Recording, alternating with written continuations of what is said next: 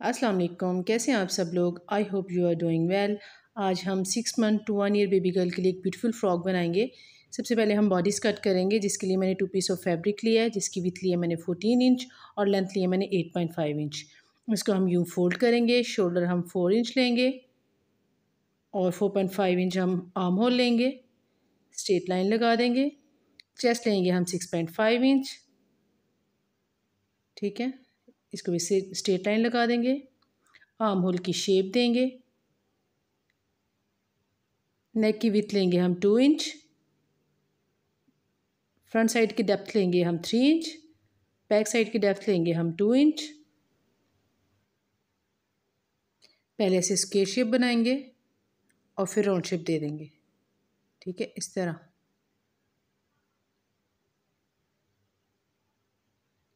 ठीक है? वेस्ट लेंगे हम सिक्स इंच इन दोनों पॉइंट्स को आपस में मिला देंगे। नीचे से हम एक इंच पे मार्क करेंगे और स्लाइड सा राउंड शेप दे देंगे। मार्क्स के ऊपर हम कट कर लेंगे। पहले हम बैक नेक कट करेंगे।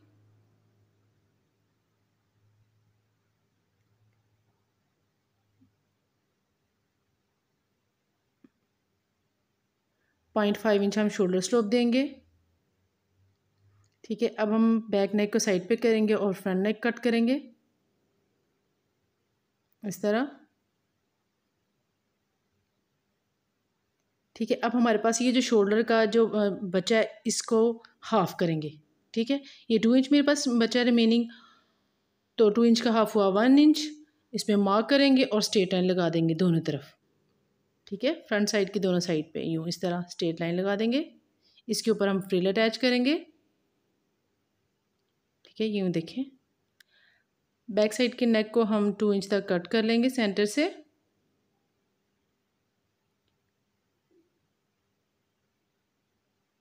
शोल्डर अटैच करेंगे। इस तरह। अब हमने आर्म होल को फोल्ड करना है, इसके लिए मैंने वन पॉइंट फाइव इंच की एक स्ट्रैप ली है। इसको हम राइट साइड पे यूँ रख के स्टिच करेंगे। दोनों आर्म को हम इसी तरह करेंगे फोल्ड ठीक है? ऐसे स्टेप को राइट साइड पे रखेंगे स्टिच लगाएँगे। अब जो हमने बैक नेक कट किया, इसके लिए मैंने एक बीस लिया है। इसको हम तीनों साइड से फोल्ड करेंगे राइट साइड के ऊपर रखेंगे और कट के साथ साथ हम जो है ना स्टिच कर देंगे इसको। ठीक है? ये मैंने आपको स्टिच करके दिखाती हूँ, ये देखें। अब हम स्मॉल कट लगाएँगे। इस तरह। और पहला फोल्ड जो हमने स्टिच लगाया, फ़र्स्ट स्टिच उस तक लगाएँगे और फिर सेकंड फोल्ड लगा के यूँ इस तरह और टॉप स्टिच लगा देंगे। ये देखें इस तरह। ठीक है, ये देखें अब हमने ये जो स्ट्रैप लगाई है, इसके कॉर्नर्स को कट करेंगे और इसको रॉन्ग साइड की तरफ़ को फोल्ड कर देंगे और इसके ऊपर स्टिच लगा देंगे, इस तरह। ये देखिए। अब नेक को फोल्ड करना है, जैसे ही हमने आर्म होल को फोल्ड किया था दोनों को इसके लिए मैंने वन इंच का स्ट्रैप लिया और ये पट्टी लिया ये, ठीक है? पूरी नेक के ऊपर रख के इसको भी हम स्टिच करेंगे कट लगाएँगे और आम होल की तरह हम इसको फोल्ड कर देंगे। ये देखें इस तरह। ये मैंने फोल्ड कर दिया। ठीक है, अब हम फ्री रेडी करेंगे। इसके लिए मैंने टू पीस ऑफ़ फैब्रिक लिया है, जिसकी लेंथ ली है मैंने फोर इंच और width almost twenty nine to thirty inch है। ठीक है, इसको यूँ फोल्ड करेंगे। और स्लाइड सा सेमी सर्कल सा राउंड सा शेप दे देंगे जैसे ना। यो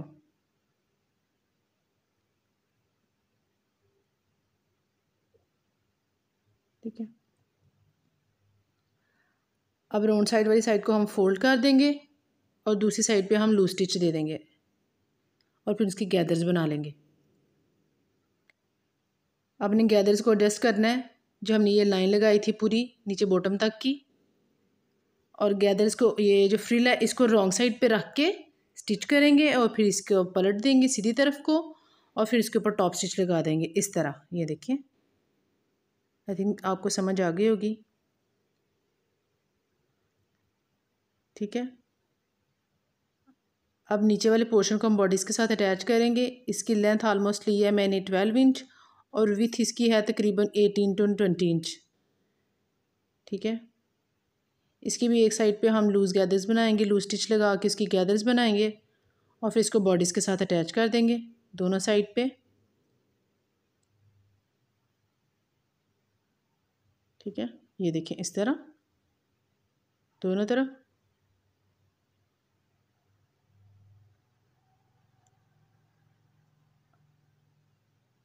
अब हम साइड फिटिंग की सिलाई लगाएँगे।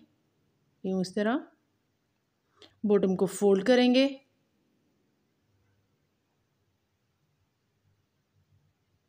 ठीक है, यूँ बॉटम को फोल्ड कर लेंगे हम। ये देखिए सेंटर पे मैंने टू बटन अटैच कर दिए। बैक नेक की तरफ़ भी मैंने लूप और बटन लगा दिया। ये देखें इट्स रेडी बहुत ब्यूटीफुल फ्रॉक है। मैंने लॉन के फैब्रिक में बनाई है, आप जिस मर्ज़ी में बनाएँ। Thanks for watching